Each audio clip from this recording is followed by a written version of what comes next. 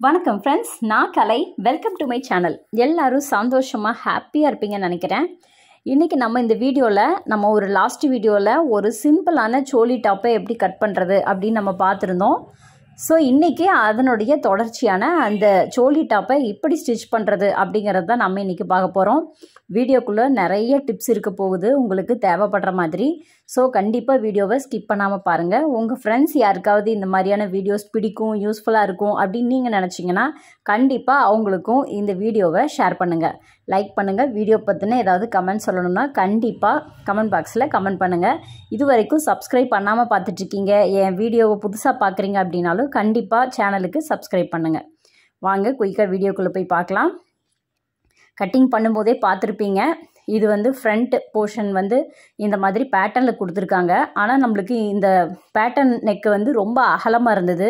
நம்ம வச்சுருக்கிற ஷோல்டரை விட ரொம்ப அதிகமாக இருந்தது. ஸோ அதை அட்ஜஸ்ட் பண்ணுறதுக்காக தான் இந்த மாதிரியான சென்டரில் ஒரு ஸ்டிச் ஒன்று கொடுக்குறேன். அதாவது க்ராஸாக வீடியோவில் பார்க்கும்போது தெரியும். சென்ட்ரலில் அகலமாக ஆரம்பித்து கீழே அந்த நெக்கினுடைய அந்த கார்னர் வரைக்கும் ஷார்ப்பாக கொண்டு வந்து நம்ம டாட்ஸ் எல்லாம் பிடிப்போம் இல்லையா? அந்த அளவுக்கு பண்ணுறேன் ஸ்டிச் பண்ணுறேன் இப்போவும் இது பார்த்திங்கன்னா ரொம்ப அகலமாக தான் இருக்குது ஸோ அதனால் மறுபடியும் இன்னும் கொஞ்சம் சேர்த்தி கூட நான் பிடிச்சு பார்க்குறேன் அப்போ தான் நம்ம வச்சுருக்கிற நெக்கினுடைய அகலகத்துக்கு தகுந்த மாதிரி இதை நம்ம அட்ஜஸ்ட் பண்ண முடியும். ஸோ வீடியோவில் பார்க்கும்போது உங்களுக்கு தெரியும். இந்த மாதிரி ஒரு பேட்டர்னில் நம்ம இதை வந்து ஸ்டிச் பண்ணிக்கலாம். இப்போ ஓரளவுக்கு நம்ம அட்ஜஸ்ட் ஆகிடுச்சு இதுக்கப்புறமா இதை நம்ம லைனிங்கை மேலே வச்சு நம்மளுக்கு ஃபிக்ஸ் பண்ணுறதுக்கு ரொம்ப ஈஸியாக இருக்கும். இந்த மாதிரி கழுத்து அகலமாக கொடுக்குற நெக் பேட்டர்ன் எல்லாம் நம்ம இந்த மாதிரியான ஒரு மெத்தடை நம்ம ஃபாலோ பண்ணினோம்னா நம்ம கழுத்தினுடைய அகலத்தை ஓரளவுக்கு குறைச்சிக்க முடியும். இப்போ நம்ம எப்படி யூஸ்வலாக எம்ப்ராய்டரி எல்லாம் பண்ணியிருக்கிற ட்ரெஸ்ஸில் வந்து ஃபஸ்ட்டு நம்ம சென்டரில் மட்டும் ஒரு ஸ்டிச் ஒன்று போட்டுட்டோம் அப்படின்னா நம்மளுக்கு ஸ்டிச் பண்ணுறதுக்கு ஈஸியாக இருக்குமோ அதே மாதிரி தான் சென்டரில் லைனிங்கினுடைய சென்டரை ஒரிஜினலுடைய சென்டர் மேலே வச்சு கரெக்டாக சென்டர் மாறாமல் நம்ம அந்த நெக்கினுடைய அந்த கீழே கார்னர் வரைக்கும் ஒரு சென்டர் ஸ்டிச் ஒன்று கொடுக்குறேன். அதுக்கப்புறமா நம்ம அந்த நெக்கினுடைய ஓரத்தில் அந்த டிசைனை ஒட்டி மட்டும் நம்ம ஸ்டிச் பண்ணிக்கலாம். இந்த மாதிரி ஸ்டிச் பண்ணும்போது தான் நம்மளுக்கு அந்த நெக்கினுடைய ஃபினிஷிங் வந்து பர்ஃபெக்டாக நம்மளுக்கு கரெக்டாக கிடைக்கும். ஸோ அதுக்காக இந்த மாதிரி நம்ம நெக்கினுடைய அந்த டிசைனை ஒட்டி கார்னரில் நம்ம ஸ்டிச் பண்ணி எடுத்துக்கலாம். இப்போ நம்ம ஷோல்டரை வந்து நம்ம அட்ஜஸ்ட் பண்ணிட்டோம். ஸோ அதனால் நம்மளுக்கு இனிமேல் ஷோல்டர் பற்றின ப்ராப்ளம் இதில் வராது. பட் பார்த்திங்கன்னா நம்மளுக்கு கீழே வந்து நெக்கு கொஞ்சம் அகலமான நெக்காக தான் இருக்குது நான் இதை ஆல்ரெடி கஸ்டமர்கிட்ட நான் இன்ஃபார்ம் பண்ணிட்டேன். இந்த மாதிரி தான் கிடைக்கும்னு சொல்லிட்டு. ஸோ அவங்களும் அதை வந்து புரிஞ்சுக்கிட்டாங்க. அவங்களுக்கு புரிகிற மாதிரி நான் எடுத்து சொல்லி புரிய வச்சுட்டேன். இதை இது ஃபுல்லாகவே நம்ம வந்து இந்த டிசைனை ஒட்டி நம்ம ஸ்டிச் கொடுத்து அடித்து திருப்பிட்டு நம்ம இது எப்படி வந்திருக்கு அப்படின்னு சொல்லிட்டு பார்க்கலாம். இது ஒன்றும் இல்லைங்க. பெரிய விஷயம் இல்லை. நம்ம எம்ப்ராய்ட்ரி பண்ண ஆரி ஒர்க் மிஷின் எம்ப்ராய்ட்ரி எல்லாம் பண்ண ப்ளவுஸினுடைய நெக்காகட்டும் சுடிதாரினுடைய நெக்காகட்டும் எப்படி அடித்து திருப்புவோமோ அதே மாதிரியான ஒரு மெத்தடில் தான் நான் வந்து இப்போது அடித்து திருப்பிட்டுருக்கேன். எல்லாம் ஸ்டிச்செல்லாம் கரெக்டாக பண்ணியிருக்கீங்களா ஒட்டி ஸ்டிச் போட்டிருக்கீங்களா? அப்படிங்கிறத செக் பண்ணிவிட்டு உள்ளே வந்து ஒரு கால் இன்ச்சு மட்டும் கிளாத் இருக்கிற மாதிரி விட்டுட்டு மிச்ச கிளாத்தை எல்லாம் கட் பண்ணி எடுத்துக்கலாம். கரெக்டாக அந்த கார்னர்ஸ் எல்லாத்துலேயுமே இந்த மாதிரி சிசரில் ஸ்லிட்டு கொடுத்துக்கலாம். இந்த பகுதியில் பார்த்திங்கன்னா இந்த மாதிரி வந்து நாச்சஸ் கொடுத்துட்டோம் அப்படின்னா நம்மளுக்கு வந்து அதை திருப்பி எடுக்கும்போது அதனுடைய ஃபினிஷிங் வந்து நல்லா வரும்.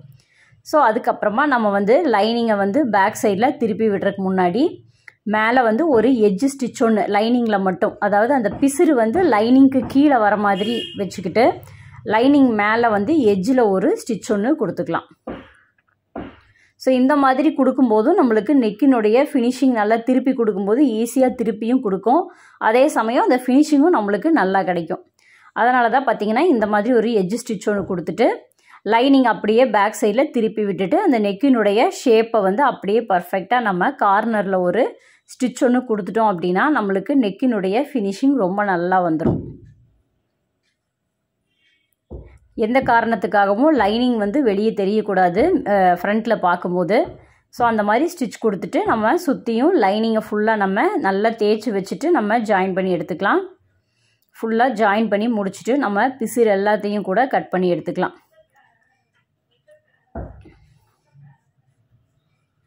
நல்லா தேய்ச்சி வச்சு அந்த டிசைனை நீங்கள் ஸ்டிச் பண்ணிங்கன்னா தான் அது நல்லா படிமானமாக லைனிங்கோட நல்லா மெர்ஜ் ஆகி ஒன்றா கிடைக்கும். ஃபுல்லாக நம்ம ஃபினிஷ் பண்ணி எடுத்ததுக்கப்புறமா நம்ம பிசிறு எல்லாத்தையும் நம்ம கட் பண்ணி எடுத்துக்கலாம். நம்ம வந்து பேக்லேயும் டாட்ஸ் பிடிக்க போகிறோம் ஃப்ரண்ட்லேயும் நம்ம டாட்ஸ் பிடிக்க போகிறோம் ஏன்னா கிட்டத்தட்ட இது சோலி டாப் அப்படிங்கிறதுனால கொஞ்சம் நல்ல ஃபிட்டிங்க்காக இந்த மாதிரி நம்ம டாட்ஸ் பிடிச்சி விடலாம். உங்களுக்கு ஃப்ரண்ட்டில் டாட் வேண்டாம் அப்படின்னா கூட நீங்கள் பேக்கில் மட்டும் கூட நீங்கள் டாட்ஸ் பிடிக்கலாம். நான் வந்து இவங்களுக்கு ஃப்ரண்ட்டில் வந்து ரெண்டு டாட் பிடிக்கிறேன். டாட்டுக்கு தேவையான மார்க்கிங்கு நீடில் மார்க் எல்லாமே நம்ம கட்டிங்லேயே நம்ம பண்ணி வச்சுருக்கோம். ஸோ அதனால் நம்மளுக்கு டாட்ஸ் பிடிக்கிறது ரொம்ப ஈஸியாக இருக்கும். கட்டிங் பண்ணும்போதே இந்த மாதிரியான விஷயங்களெல்லாம் பண்ணிட்டீங்க அப்படின்னா நம்ம ஸ்டிச்சிங் வந்து ரொம்ப டக்கு டக்குன்னு ஈஸியாக பண்ணுற மாதிரி இருக்கும். ஷோல்டர் எவ்வளோ வந்திருக்கு அப்படிங்கிறத நம்ம செக் பண்ணி பார்த்துக்கலாம். இது வந்து நம்மளுக்கு பேக்கில் ஷோல்டரை நம்ம ஸ்டிச் பண்ணும்போது நெக்கு ஸ்டிச் பண்ணும்போது ரொம்ப ஈஸியாக இருக்கும். இப்போ பார்த்தீங்கன்னா நம்ம பேக்கில் வந்து ஷோல்டர் கிட்ட ஒரு ஜாயிண்ட் ஒன்று போடுறதுக்காக ரெண்டு பிட்டு கிளாத்து நம்ம கட் பண்ணி வச்சுருந்தோம். ஸோ அதை தான் வந்து இப்போ நான் ஜாயின் பண்ணிகிட்ருக்கேன் அப்போ தான் நம்மளுக்கு இந்த ப்ளவுஸினுடைய ஃபுல் ஹைட்டு நம்மளுக்கு சரியாக கிடைக்கும். ஸோ துணி பத்தாததுனால நம்ம இந்த மாதிரி ரெண்டு பிட்டு ஒன்று நான் கட் பண்ணி வச்சுருந்தேன். ஸோ அதை வந்து டபுள் ஸ்டிச் போட்டு ஜாயின் பண்ணிவிட்டு இது சிந்தட்டிக் மெட்டீரியல் அப்படிங்கிறதுனால மேலே ஒரு டாப் ஸ்டிச் ஒன்று கூட கொடுத்துக்கலாம். நம்ம ஸ்டிச்சிங் எல்லாம் முடித்து ஃபினிஷ் பண்ணதுக்கப்புறமா கூட நம்ம இந்த ஸ்டிச்சை வந்து பிரித்து விட்டுக்கலாம். ஏன்னா இந்த ஸ்டிச்சு மேலே இருக்கும்போது நம்மளுக்கு அது ஒட்டு போட்ட மாதிரி தெரியும். ஸ்டிச்சு இல்லைன்னா கூட ஓரளவுக்கு தெரியாது. ஸோ அதை நான் ஃபைனலாக நான் பிரித்து விட்டுக்கலான்னு சொல்லிவிட்டு மேலே ஒரு டாப் ஸ்டிச் ஒன்று கொடுத்துருக்கேன். இப்போ ஃபுல்லாக நம்ம லைனிங்கை ஜாயின் பண்ணி எடுத்துக்கலாம். பேக் பட்டன் அப்படிங்கிறதுனால ரெண்டு தனித்தனி போர்ஷன் இருக்குது பேக்கில் ஸோ ரெண்டையும் தனித்தனியாக இந்த மாதிரி நம்ம லைனிங்கை ஜாயின் பண்ணிக்கலாம். நான் ஆல்ரெடி ஒரு சைடு வந்து ஜாயின் பண்ணி பிசில் எல்லாத்தையுமே நான் கட் பண்ணி வச்சுருக்கேன். இப்போது இன்னொரு இன்னொரு பீஸை ஜாயின் பண்ணுறதை மட்டும்தான் உங்ககிட்ட நான் காமிச்சிக்கிட்டு இருக்கேன். இதுலேயும் நம்ம வந்து பேக்கில் டாட் பிடிக்க போகிறோம்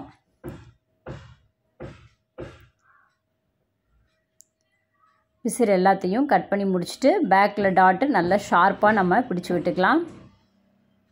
டபுள் ஸ்டிச் போடுறது ரொம்ப முக்கியம். அதே மாதிரி நம்ம கார்னரில் முடிக்கும் போதும் நம்ம டான் பண்ணி முடிச்சுக்கலாம். இப்போ வந்து பேக் நெக்கை ஃபினிஷ் பண்ணுறதுக்காக நான் வந்து ரெண்டு க்ராஸ் பீஸ் எடுத்துகிட்ருக்கேன் நம்ம க்ராஸ் பீஸ் வச்சு தான் நம்ம வந்து பேக் நெக்கை ஃபினிஷ் பண்ண போகிறோம் இந்த மாதிரி மெத்தடில் பண்ணுறதும் ரொம்ப நல்ல நீட் ஃபினிஷிங்காக தான் இருக்கும்.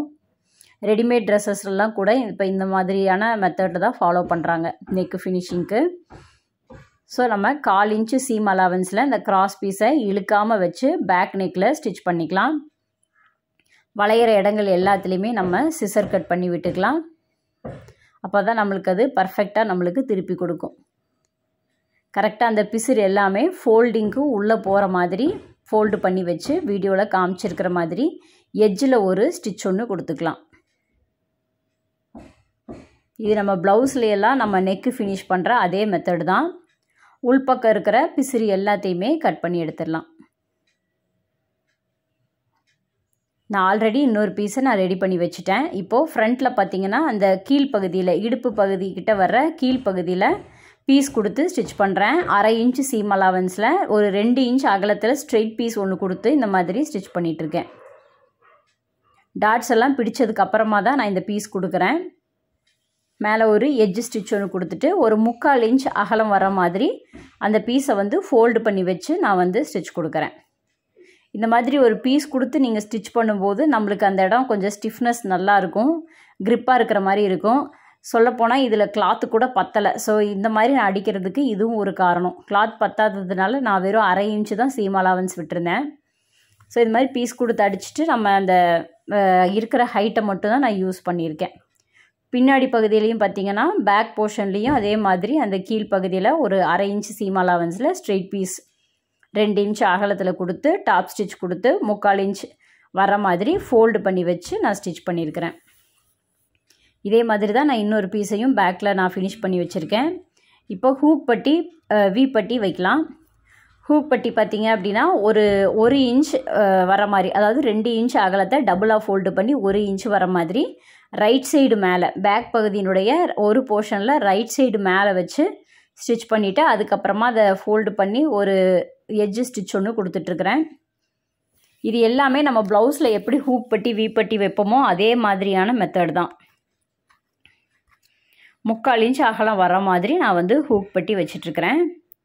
நம்ம நெக்கு பீஸை வந்து ஷோல்டர் கிட்ட ஃபினிஷ் பண்ண வேண்டாம். ஆனால் இந்த இடத்துல பார்த்திங்கன்னா நம்ம ஃபோல்டு பண்ணி தான் நம்ம ஸ்டிச் பண்ணிகிட்ருக்கோம் லூப் பட்டியை பொறுத்த வரைக்கும் நான் யூஸ்வலாக ஒரிஜினல் கிளாத்தில் தான் வைப்பேன். ஸோ அதனால் ஒரு ஒரிஜினல் பீஸ் ஒன்று ரெண்டு இன்ச் அகலத்தில் எடுத்துகிட்டு அதில் வந்து உள்பக்கமாக லைனிங்கை வந்து இந்த மாதிரி வச்சுருக்கேன். ஏன்னா அது அப்போ தான் அதனுடைய ஸ்டிஃப்னஸ் நல்லாயிருக்கும் ஒரு அரை இன்ச் மட்டும் ஒரு ஒரு சைடு மட்டும் நான் ஃபோல்டு பண்ணி ஸ்டிச் பண்ணிக்கிறேன்.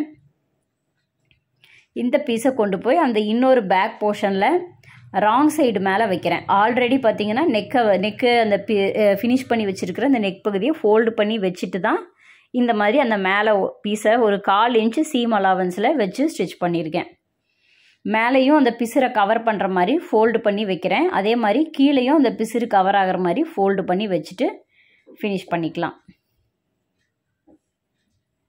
அதுக்கப்புறமா இதை வந்து ரைட் சைடில் கொண்டு வந்துட்டு அந்த நம்ம ஆல்ரெடி நம்ம ஸ்டிச் பண்ணியிருக்கிற அந்த ஸ்டிச்சு வந்து தெரியாமல் போகிற மாதிரி மறைஞ்சு போகிற மாதிரி மேலே அந்த பீஸை வந்து ஃபோல்டு பண்ணி வச்சு ஃபினிஷ் பண்ணி எடுத்துக்கலாம். இந்த மாதிரி தான் நான் வந்து ஹூக்கு பட்டி லூப் பட்டி வச்சுருக்கேன். இந்த மாதிரி வச்சு நம்ம செக் பண்ணி பார்த்துக்கிறதும் ரொம்ப முக்கியம். ஏற்ற இறக இருக்கா அப்படிங்கிறத செக் பண்ணி பார்த்துட்டு எக்ஸ்ட்ரா இருக்கிற அந்த பிசரை வந்து நம்ம கரெக்டாக இருக்கா நம்ம செக் பண்ணி பார்த்துக்கணும். ஷோல்டர் வந்து நம்ம ஜாயின் பண்ணிடலாம். நம்ம பேக் நெக்கில் ஷோ இன்னும் ஃபினிஷ் பண்ணாமல் இருக்கிற அந்த பீஸை வந்து விட்டுட்டு வீடியோவில் காமிச்சிருக்கிற மாதிரி கரெக்டாக அந்த எஜ்ஜில் ஒரு ஸ்டிச் ஒன்று கொடு ஸ்டிச் கொடுத்துட்டு அந்த எஜ்ஜை வந்து நம்ம கட் பண்ணி விட்டுக்கணும். அப்போ தான் நம்மளுக்கு அது ஃபோல்டு பண்ணி எடுக்கும்போது அந்த இடம் மொத்தமாக இல்லாமல் நம்மளுக்கு அது படிஞ்ச படிமானமாக நம்மளுக்கு கிடைக்கும் படிஞ்சு வரும். இப்போ இதை பார்த்திங்கன்னா நம்ம இப்படி திருப்பும்போது பார்த்திங்கன்னா அந்த ஷோல்டர் வந்து கவர் ஆகிடும் அந்த பிசிறு வந்து வெளியே தெரியாமல் கவர் ஆகிடும் இப்போ மேலே ஒரு டாப் ஸ்டிச் ஒன்று கொடுத்து நெக்கு ஃபுல்லாகவே ஒரு கால் இன்ச்சு சீம் அலவன்ஸ் விட்டுட்டு நம்ம ஃபினிஷ் பண்ணிடலாம். கால் இன்ச்சு சீம் அலவன்ஸில் இந்த மாதிரி ஃபினிஷ் பண்ணும்போதே நம்மளுக்கு இதனோட ஃபினிஷிங் நல்லா கிடைக்கும். நல்லா படிஞ்சு வர மாதிரி பார்த்துக்கோங்க. ஏன்னா நம்ம இந்த ஸ்லிட்டெல்லாம் பண்ணியிருக்கிறதுனால கண்டிப்பாக நெக்கினுடைய ஃபினிஷிங் நல்லா தான் வரும். நீங்கள் ஸ்லிட்ஸ் எல்லாம் கொடுக்காம நாச்சஸ் போடாமல் உள் பக்கத்தில் பண்ணிட்டீங்க அப்படின்னா இந்த கார்னர் எல்லாம் திரும்புறது வந்து ரொம்ப கஷ்டமாக இருக்கும். ஃபினிஷிங்கே நம்மளுக்கு சரியாக வராத மாதிரி இருக்கும். ஸோ அதனால் கண்டிப்பாக நம்ம வந்து நாச்சஸ் பண்ணிட்டு தான் நம்ம வந்து இந்த மாதிரி ஃபினிஷ் பண்ணணும். ஸோ பாருங்கள் கழுத்து எவ்வளோ அகலமாக வந்திருக்குன்னு சொல்லிட்டு நான் கண்டிப்பாக இதுக்கு வந்து பேக் ரோப் நம்ம வச்சு கொடுத்தோம்னா தான் நம்மளுக்கு இந்த கழுத்து ப்ராப்ளத்தை ஓரளவு சரி பண்ண முடியும். ஸ்லீவை ஜாயின் பண்ணுறதுக்கு முன்னாடி கொஞ்சம் அந்த க்ராஸாக இருக்கிற இடத்துல கொஞ்சம் ஸ்ட்ரெயிட் பண்ணி நான் கட் பண்ணியிருக்கேன். ரெண்டு ஷோல்டர்கிட்டையும் இந்த மாதிரி நம்ம லைட்டாக ஸ்ட்ரெயிட் பண்ணி கட் பண்ணிக்கலாம். இப்போ நம்ம பஃப் ஸ்லீவுக்கு நம்ம போ ரெடி பண்ணி வச்சுக்கலாம். பஃப் ஸ்லீவுக்கு ஆல்ரெடி நம்ம ஒரிஜினல் கிளாத்து அதே மாதிரி லைனிங் எல்லாமே நம்ம கட் பண்ணி வச்சுருக்கோம். ஒரிஜினலுடைய ரைட் சைடு மேலே லைனிங்கை கரெக்டாக நம்ம அந்த ஃப்ரண்ட்டில் நம்ம குடஞ்சி வெட்டியிருக்கிற பகுதியெல்லாம் கரெக்டாக செக் பண்ணி பார்த்துக்கோங்க. செக் பண்ணி பார்த்துட்டு அரை இன்ச்சு சீம் அலாவன்ஸ் கொடுத்துட்டு அதை அப்படியே நம்ம ரிவர்ஸில் லைனிங்கை திருப்பி விட்டுட்டு எட்ஜில் ஒரு ஸ்டிச் ஒன்று கொடுத்துக்கலாம். ஸ்லீவினுடைய அந்த ரெண்டு குடஞ்சி வெட்டியிருக்கிற பகுதியை நம்ம நாச்சஸ் போட்டதுனால நம்மளுக்கு ஜாயின் பண்ணுறது ஈஸியாக தான் இருக்கும். இப்போ நம்ம லைனிங்கையும் ஒரிஜினலையும் ஃபுல்லாக நம்ம நல்லா தேய்ச்சி வச்சு ஜாயின் பண்ணிக்கலாம்.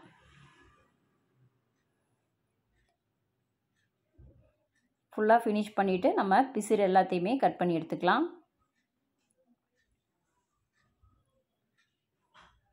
இப்போ நான் வந்து ப்ளீட்ஸ் வைக்க ஆரம்பிக்கிறேன். அதாவது நம்ம முன்னால் வந்து குடஞ்சி வெட்டி இருக்கிற பகுதியில் நம்ம நாச் பண்ணியிருக்கிறோம். அது மட்டும் இல்லாமல் நம்ம மேலே ப்ளீட் எவ்வளவு தேவைப்படுதோ அது தகுந்த மாதிரி எக்ஸ்ட்ரா கிளாத்தை விட்டும் நம்ம வந்து கட் பண்ணியிருக்கோம். ஸோ அந்த கிளாத்து தெரியறதுக்காக அந்த இடத்துலையும் நம்ம ஒரு நாச் பண்ணியிருக்கோம். ஸோ அந்த நாச்சில் இருந்து அதுக்கப்புறமா பேக் பகுதியில் இருக்கிற அந்த நாச் வரைக்கும் மட்டும் எவ்வளவு ப்ளீட்ஸ் வேணுமோ அவ்வளோ ப்ளீட்ஸ் நம்ம ஃபஸ்ட்டு வச்சுக்கலாம். அதாவது ஒரு அப்ராக்சிமேட்டான ப்ளீட்ஸ் தான் நான் வைக்கிறேன். நம்ம ஸ்லீவினுடைய ஜாயின் பண்ணும்போது நம்மளுக்கு எக்ஸ்ட்ரா தேவைப்படுதுனாலோ இல்லை கம்மி பண்ணணுன்னாலோ நம்ம வந்து பிரித்து கூட விட்டுக்கலாம். இப்போ அந்த கீழ் பகுதியில் ஸ்லீவ் ரவுண்டு பகுதியில் சென்டரை மார்க் பண்ணிவிட்டு ஒரு ஆறரை இன்ச் அளவு கீழேருந்து மார்க் பண்ணிவிட்டு பாருங்கள் ரெண்டு சைடும் மார்க் பண்ணிவிட்டு அந்த இடத்துல இருந்து ஆப்போசிட் டைரக்ஷனில் அதாவது நம்ம மேலே எந்த டைரக்ஷனில் வச்சோமோ அதுக்கு நேர் ஆப்போசிட் டைரக்ஷனில் இந்த ப்ளீட்ஸ் எல்லாம் வரணும். ஸோ அந்த மாதிரி வைக்கும்போது தான் நம்மளுக்கு அந்த பஃபினுடைய எஃபெக்ட் நல்லாயிருக்கும் நல்லா கொஞ்சம் தூக்கி கொடுக்குற மாதிரி அந்த பஃபினுடைய இது வந்து கொஞ்சம் நல்லா கிடைக்கும். ஸோ அதுக்காக நான் வந்து ஃபஸ்ட்டு மேலே வச்ச பஃப் வந்து ரைட் சைட் பார்த்த மாதிரி இருக்குது அப்படின்னா ஃபார் எக்ஸாம்பிள் இந்த பஃப் எல்லாமே லெஃப்ட் சைடில் பார்த்த மாதிரி நம்ம வைக்கணும். மேலேயும் கீழேயும் நம்ம பஃப் வச்சா கூட நம்ம அந்த சென்டரை வந்து கரெக்டாக நம்ம மார்க் பண்ணிக்கணும். ஏன்னா அப்போ தான் நம்மளுக்கு வந்து எந்த சைடு ப்ளீட்டு கம்மியாக இருக்குது எந்த சைடு ப்ளீட் அதிகமாக இருக்குது அப்படின்னு நம்மளால் ஈஸியாக கண்டுபிடிக்க முடியும். ஸோ அதுக்காக நம்ம சென்டர் மார்க்கிங்கையும் மேலேயும் கீழேயும் கரெக்டாக பண்ணி வச்சுட்டு ஏதாவது நீடிலோ ஏதோ ஒரு ஸ்க்ரூ டிரைவர் அந்த மாதிரி ஏதோ ஒரு இதை வச்சுட்டு நீங்கள் இந்த மாதிரி ஈஸியாக நம்ம ப்ளீட்ஸ் பண்ணிக்கலாம். இங்கேயும் அதே மாதிரி ஒரு குறிப்பிட்ட அளவு மட்டும் வச்சுட்டு நம்ம மறுபடியும் எக்ஸ்ட்ரா தேவைப்படுதுன்னா கூட நம்ம மறுபடியும் வச்சுக்கலாம். இப்போ நான் சென்டரை கரெக்டாக பார்த்து அளந்து பார்க்கும்போது ஒரு சைடு மட்டும் கொஞ்சம் ஒரு ப்ளீட் கம்மியாக இருக்க மாதிரி இருந்தது. ஸோ அந்த ஒரு ப்ளீட்டை மட்டும் நான் எக்ஸ்ட்ரா வச்சுட்டேன். எக்ஸ்ட்ரா வச்சுட்டு இந்த மாதிரி பாருங்கள் டபுள் ஸ்டிச் ஒரு கைடு அளவு கேப் விட்டுட்டு இன்னொரு ஸ்டிச் கூட நல்லா டான் பண்ணி இந்த மாதிரி நான் போட்டுக்கிறேன். ஸோ இந்த மாதிரி தான் நம்மளுக்கு இதனுடைய இது கிடைக்கும் எஃபெக்ட் இருக்கும். இப்போ நம்ம வந்து இதை பாடி போர்ஷனில் ஆம்ஹோலோட வச்சு ஜாயின் பண்ணிக்கலாம். நான் கீழே இருந்து வச்சு தான் ஜாயின் பண்ணுறேன் அதாவது செஸ்ட்டு கீழே ஆம்ஹோல் கீழ்ப்பகுதியிலேருந்து ஜாயின் பண்ணுறேன் பாருங்கள் இப்போ நம்ம வந்து அந்த கரெக்டாக ஷோல்டரினுடைய சென்டரும் ஸ்லீவினுடைய சென்டரும் கரெக்டாக வர மாதிரி வச்சுட்டு எக்ஸ்ட்ரா வர்ற கிளாத்தை வந்து மறுபடியும் நான் தேவைப்படுதுங்கும் போது நான் மறுபடியும் ப்ளீட்டாக தான் வச்சுக்கிறேன். ஸோ நம்ம ஆல்ரெடி வச்ச ப்ளீட் வந்து நம்மளுக்கு பத்தலை. இன்னும் ஒரு ப்ளீட் ரெண்டு ப்ளீட் எக்ஸ்ட்ரா தேவைப்படுதும் போது நான் இப்போ இங்கே ஸ்டிச் பண்ணும்போது நான் வந்து அதை எக்ஸ்ட்ரா ஆட் பண்ணிக்கிட்டேன். அதே மாதிரி இங்கே நம்ம பேக்கில் வந்து ஜாயின் பண்ணும்போது பார்த்தீங்கன்னா நம்ம கரெக்டாக அளந்து பார்த்துட்டு எவ்வளோ தேவைப்படுதோ பாருங்கள் எக்ஸ்ட்ரா இவ்வளோ கிளாத் வருதுங்க போது அதை வந்து நம்ம எக்ஸ்ட்ரா இருக்கிற கிளாத்தை ப்ளீட்டாக நம்ம ஃபோல்டு பண்ணி வச்சு ப்ளீட் பண்ணிக்கலாம். பஃப் பண்ணிக்கலாம். ஸோ பஃப் ஸ்லீவ் வந்து நான் இந்த மாதிரி தான் நான் வந்து ஃபினிஷ் பண்ணுறேன் கண்டிப்பாக டபுள் ஸ்டிச் போட்டுக்கலாம். நீங்கள் நீங்கள் ஃபஸ்ட்டு அப்ராக்சிமேட்டாக வச்சு பார்த்துக்கிட்டிங்கனாலே நீங்கள் ஸ்டிச் பண்ணும்போது ஒன்றோ ரெண்டோ தான் எக்ஸ்ட்ரா தேவைப்படும். இல்லைன்னா நம்ம பிரித்து விடுற மாதிரி இருக்கும். அது நம்மளுக்கு ரொம்ப ஈஸியாக தான் இருக்கும். ஸோ இந்த மாதிரி நம்ம பண்ணிட்டோம்னா பாருங்கள் அதை இப்படி தான் இந்த மாதிரி தான் நம்மளுக்கு பஃப் கிடைக்கும். இது நம்ம லைனிங்கோட சேர்த்து வச்சுருக்கிறதுனால ரொம்ப நல்லாவே இருக்கும் ஃபினிஷிங்கு இப்போ நம்ம ஸ்லீவ் ரவுண்டு ஜாயின் பண்ண ஆரம்பிக்கலாம். எவ்வளோ உங்களுக்கு ஸ்லீவ் ரவுண்டோ அதை நம்ம மார்க் பண்ணிவிட்டு கரெக்டாக அந்த செஸ்ட் ரவுண்டு பேக்கு முதுகு பகுதியினுடைய செஸ்ட் ரவுண்டையும் ஃப்ரண்ட்டினுடைய செஸ்ட் ரவுண்டையும் கரெக்டாக மேட்ச் பண்ணி வச்சு நம்ம ஆல்ரெடி போட்டு வச்சுருக்கிற அந்த நீடில் மார்க் வழியாக நம்ம ஸ்டிச் பண்ணிகிட்டே வரலாம். கீழே பார்த்தீங்கன்னா நம்ம சின்னதாக ஒரு ஸ்லிட்டு வைக்க போகிறோம் ஸோ நம்ம ஸ்லிட்டு வரைக்கும் ஸ்டிச் பண்ணி நல்லா டான் பண்ணிவிட்டு அதை அப்படியே ரிவர்ஸ் பண்ணி டபுள் ஸ்டிச் போட்டுக்கலாம். ஒரு கைட் அளவு கேப் விட்டு இன்னொரு ஸ்டிச்சு இந்த டாப்பில் பார்த்தீங்கன்னா நான் மூணாவது கூட ஒரு ஸ்டிச் ஒன்று கொடுக்க போகிறேன் ஸ்லிட்டு கிட்ட கண்டிப்பாக டான் பண்ண மறந்துட்டிங்கன்னா நம்மளுக்கு அந்த ஸ்லிட்டு வந்து பிரிஞ்சு வந்துடும் நாளடைவில். ஸோ அதனால் அந்த இடத்துல நல்லா டான் பண்ணிக்கோங்க. இப்போ நம்ம இந்த குட்டியாக நம்ம கட் பண்ணியிருக்கிற அந்த ஸ்லிட்டை வந்து வச்சிடலாம். ஃபஸ்ட்டு ஒரு அரை இன்ச் அதுக்கப்புறம் ஒரு அரை இன்ச் ஃபோல்டு பண்ணி நம்ம வைக்கணும். ஆரம்பிக்கும் போதும் முடிக்கும் போது நம்ம நல்லா டான் பண்ணிக்கலாம். இது சமைக்கு ஒர்க் அப்படிங்கிறதுனால ஒன்றும் பயம் இல்லை நீடில் எதுவும் பிரச்சனை இருக்காது. இதே ஸ்டோனாக இருந்ததுன்னா நம்மளுக்கு தைக்கும்போது ரொம்ப கவனமாக தைக்கணும். ஏன்னா ஸ்டோன் ஒர்க்கெல்லாம் இருந்ததுன்னா நம்ம நீடில் பட்டுச்சுன்னா நம்மளுக்கு நீடில் பிரேக் ஆகிடும் ஸோ அதனால் நான் கவனமாக பார்த்து ஸ்டிச் பண்ணணும். பாருங்கள் இந்த மாதிரி தான் ஃபினிஷிங் ஆகிருக்குது இந்த சோலி டாப்பை நான் ரொம்ப அவசரமாக நான் ஸ்டிச் பண்ணதுனால என்னால் இதனோட ஃபினிஷிங் வீடியோவை எடுக்க முடியாமல் போயிடுச்சு. ஆனால் கஸ்டமர் பார்த்தீங்க அப்படின்னா அவங்க போட்டதுக்கப்புறமா ரொம்ப நல்லா ஃபிட்டிங்காக இருந்துச்சு ரொம்ப கரெக்டாக இருந்துச்சு அப்படின்னு சொல்லிட்டு சொன்னாங்க. அந்த நெக்கினுடைய அந்த ப்ராப்ளம் கூட கழுத்து அகலமாக இருந்தது வந்து ரோப் வச்சதுனால அவ்வளோ ஒன்றும் பெரிய இதாக தெரியலை. நல்லா தான் இருந்தது ஃபிட்டிங் சூப்பராக இருந்தது அப்படின்னு சொல்லிட்டு எனக்கு ஃபீட்பேக் கொடுத்தாங்க. கண்டிப்பாக இந்த வீடியோ உங்களுக்கு பிடிச்சிருக்கும். இதில் சொல்லியிருக்கிற டிப்ஸ் எல்லாம் உங்களுக்கு யூஸ்ஃபுல்லாக இருந்திருக்கும்னு நான் நினைக்கிறேன். வீடியோ பிடிச்சிருந்ததுன்னா கண்டிப்பாக சேனலுக்கு சப்ஸ்கிரைப் பண்ணுங்கள் தேங்க்ஸ் ஃபார் வாட்சிங் friends bye body, I'm an icon, man. And my girl about a 10. I should fuck her in a Benz.